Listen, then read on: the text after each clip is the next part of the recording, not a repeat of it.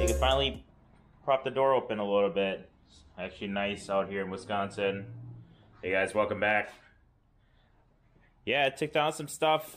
This is all the stuff that needs to be put back on the car, mainly the front uh, part of the uh, car, the support, bumper, radiator, and then I have those to install the back wheel. And then I gotta go find the other front uh, style 5 but yeah, this radiator here is gonna go. Um, it does have a leak where the uh, bleeder screw or the dump uh, coolant screw is. I have this CSF radiator, model number 3054. Show you guys that when I get to that point. Yeah,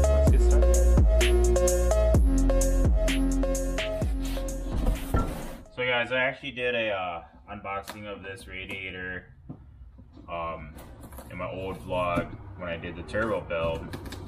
So if you go back to that, you can see. So you can see I had this for a very, very long time. I was actually waiting for the OEM radiator to crack, and it did. So here it is. Guess I'll do another unboxing.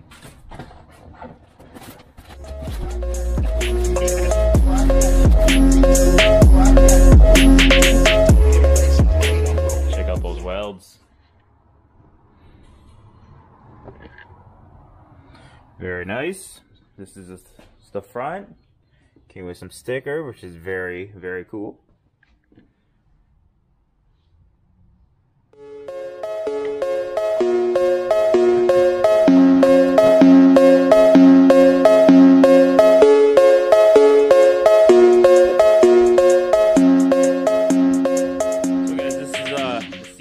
CSF radiator, um, part number 3054, specifically for the E36. I just test fitted everything. Looks like it will fit, even these little knobs here. Um, supposed to fit where um, the brackets are. This is a two core, which I don't know that is, but I don't think so. And this one CSF is made out of all aluminum, especially these sides here. All aluminum. OEM is plastic. So hopefully it doesn't crack. Um, yeah. I'm going to cover this up and then start fitting the electrical fan on the back. So guys, I already took uh, my electrical fan out. I'm actually using a SPAL 60 inch uh, polar fan.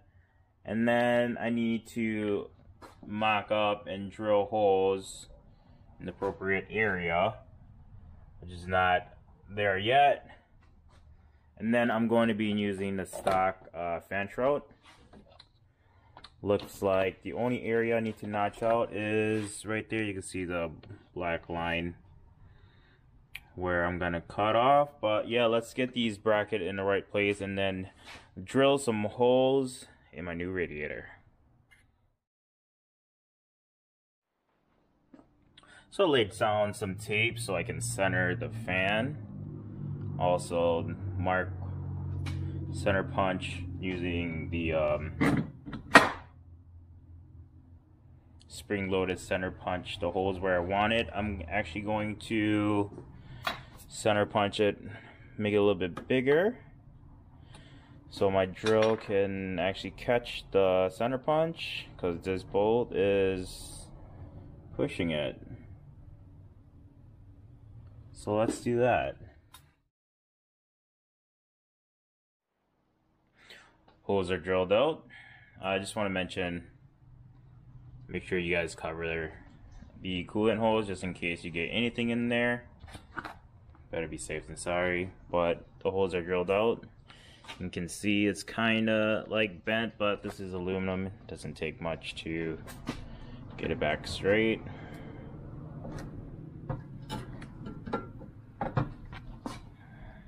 Much better.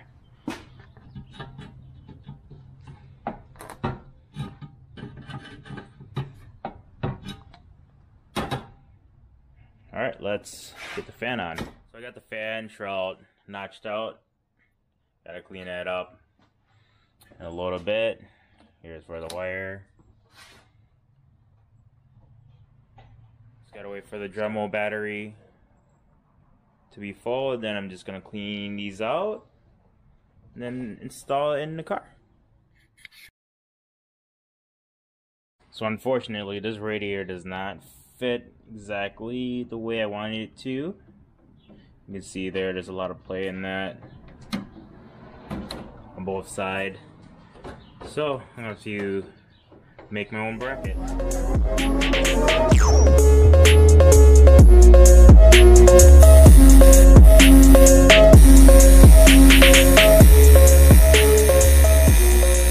this is what I came up with so far well the little bracket so it stays between this and then the radiator so it's not fully hitting. Really nice close gap there. I might have to notch this out a little bit but I just center punch a hole here. So I'm going to be using this Harbor Freight threaded insert uh, rivet kit probably just use the smallest one. So I'm just gonna go ahead and drill this hole for the to accept the insert and then so I'm just gonna show you guys how to use this tool real quick. Um so this assortment comes with four different sizes. I am using the 10 by 24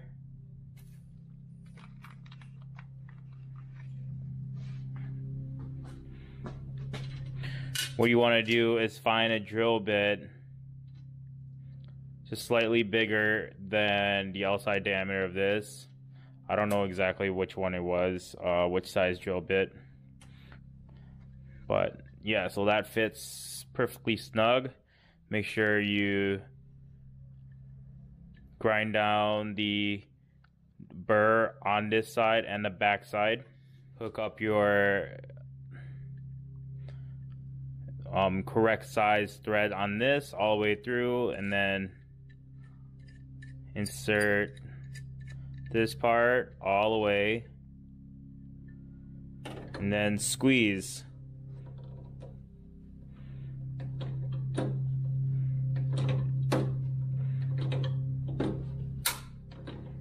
That should be good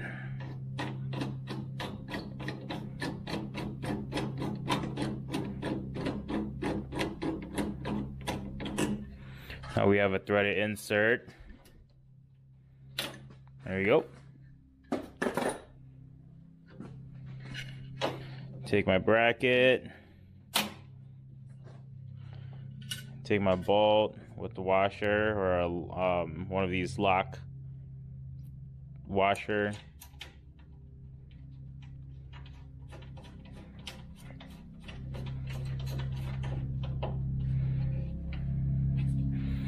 Needs to be tightened down, but not.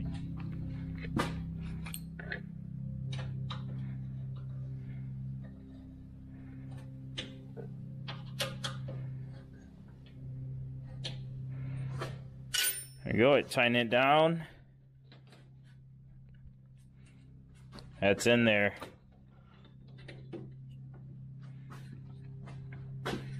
So pretty much what I gotta do now uh, next is just clean this up a little bit and then I'm going to paint that. Uh, I'm not too worried about the grind mark on um, this nose panel here because I'm going to eventually take this completely out and then clean it up and paint it. But yeah, let's move on to the next.